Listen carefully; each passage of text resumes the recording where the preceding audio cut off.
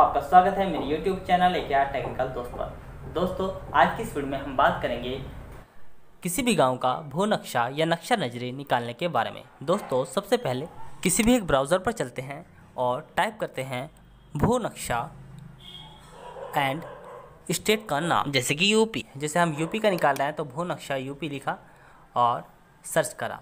तो दोस्तों, यहाँ पर आपके ये लिंक आते हैं। तो दूसरा लिंक क्या आ रहा है? भू नक्शा। तो दूसरे वाले लिंक पर हमें क्लिक कर देना है। जैसे ही हम क्लिक करते हैं तो दोस्तों, ऐसा पेज आपके सामने शो होता है। सबसे ऊपर वाला ऑप्शन इसमें मिलता है स्टेट का। उत्तर प्रदेश सिलेक्ट है। फिर इसके बाद ज़िला। जिस ज़िले में आपका गाँव पड़ता है, उस ज़िले को सेलेक्ट कर लेना है। तो दोस्तों, मैंने यहाँ पर चित्रकूट सेलेक्ट कर लिया और फिर इसके बाद तहसील। जिस तहसील में आपका गाँव पड़ता है, उस तहसील को आपको सिलेक्ट कर लेना है। तो दोस्तों, मैंने यहाँ पे ये सिलेक्ट कर लिया। इसके बाद फिर गाँव, यानी कि जिस गाँव की आपको भू नक्शा निकालना है, उसको सेलेक्ट कर लेना है। तो दोस्तों, आपके सामने ये उस गाँव का नक्शा आ गया। अब दोस्तों, आपको जिस खसरा नंबर का नक्शा निकालना है, उस खसरा नंबर को ऊपर फिल कर देना है। जैसे हमने बासठ लिखा और सर्च पर क्लिक करा। तो दोस्तों, आप यहाँ देख रहे हो कि यहाँ पर इसका प्लॉट इन्फो आ गया है। नीचे। तो यहाँ पे आपके सामने खाता संख्या है, उसका नाम है, खातेदार का नाम है और मैप रिपोर्ट लिखा है नीचे। आप देख रहे होंगे और इस पर हमें मैप रिपोर्ट पर क्लिक कर देना है। मैप रिपोर्ट पर क्लिक करने के बाद दोस्तों, एक पीडीएफ लोड होती है, जिसमें आपको शजरा मिलता है, जिसमें आपका खसरा नंबर होता है और उसके आसपास के जितने भी खसरे हैं, वो उस सजरे में आपके दिखाई देते हैं। आप देख रहे होंगे। मैंने बासठ खसरे नंबर की वो नक्शा देखा तो उसके आसपास का भी दिखा दिया और बासठ को भी हाईलाइट कर दिया है, बासठ। इस प्रकार से आप इसको प्रिंट कर सकते हैं। और नीचे इसके, ये एक और बात है, इसमें एक प्रति है, और जो कि केवल जानकारी मात्र के लिए है। यहाँ पे ये पॉइंट मिलते हैं और ये किसी आप न्यायालय में पेश नहीं कर सकते हैं। ठीक है तो ये तीन पॉइंट मिलते हैं। और यहाँ पे आपको खाता नंबर बता रहा है कि ये खसरा नंबर किस किस खाते में बटा हुआ है? किस किस खाते में ये खसरा नंबर है और कितने इसमें खातेदार हैं? यानी किस किस का नाम इस खसरे नंबर में है? और इसको आप प्रिंट भी कर सकते हैं और आप इसकी पीडीएफ को डाउनलोड भी कर सकते हैं।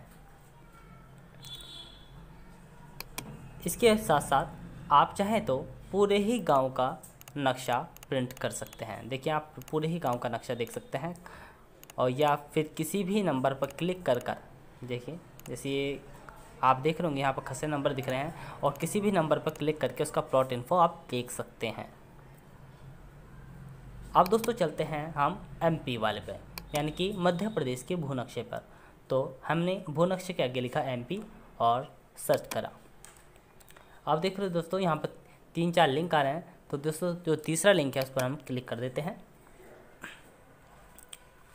इसके बाद यहाँ पर ओके पर क्लिक कर देते हैं और यहाँ पर आप देख रहे होंगे, नीचे ये सॉरी लॉगिन का ऑप्शन आता है, इसको काट देना है और इसके बाद ये फ्री सर्विसेज़ लिखा है, इस पर हमें क्लिक करना है।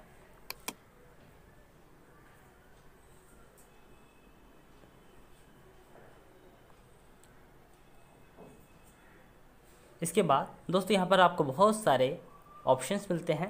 यहाँ से आप भोले भी निकाल सकते अपने खतौनी भी निकाल सकते हैं भू नक्शा भी निकाल सकते हैं, गाँव की सूची में निकाल सकते हैं। तो भू नक्शा वाले ऑप्शन पर हमें क्लिक कर देना है।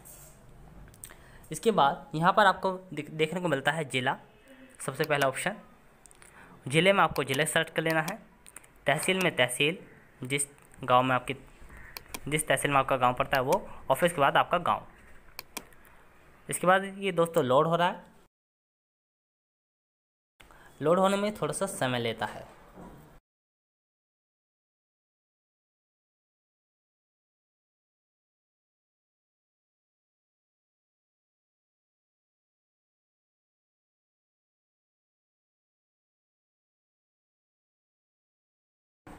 तो दोस्तों, ये आ गया आपका नक्शा। इस गाँव का, जिस गाँव का हमने नक्शा देखा है, उस गाँव का नक्शा आ गया। ये ऐसा ग्रीन ग्रीन आता है, वहाँ पे येलो येलो आ रहा था, उत्तर प्रदेश वाले में। मध्य प्रदेश में ग्रीन ग्रीन आ रहा है, और उनके बीच बीच में इनके खसरे नंबर लिखे हैं, आप देख रहे होंगे।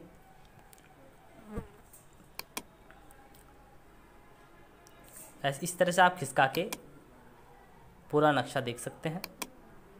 ठीक है? और यहाँ से आप जूम इन जूम आउट कर सकते हैं।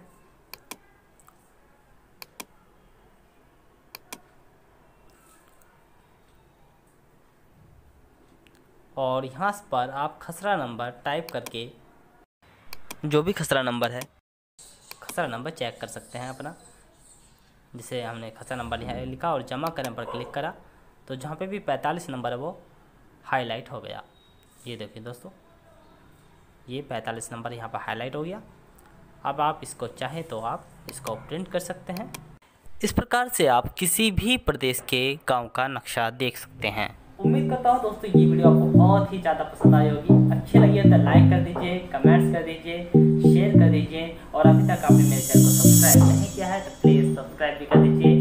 बेल आइकन पर क्लिक कर दीजिए क्योंकि जो आने वाली वीडियोस हैं, उनकी नोटिफिकेशन आपको अपना आप भी मिल जाएगी। अगर आप बेल आइकन पर क्लिक कर देंगे